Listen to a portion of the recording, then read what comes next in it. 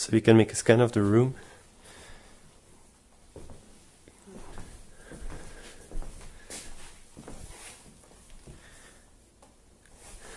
See it also detects a table, the tree and everything. Game. So you can tap, and then it moves to that position where you tap. So now it just tumbled off the couch. Now you can do the same thing with the controller, and this is where it gets really cool. You can actually just drive around like a car in your house,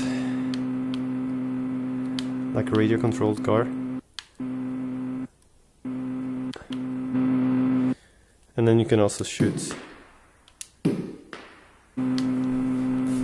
So you see I go behind the wall and it disappears. Okay, so as you can see, all the surfaces can actually be used. So everything that has been included in the scan can be filmed, filled with these cones, and it actually falls pretty realistically, like you see. If it hits something else, um, it actually follows the, the laws of physics.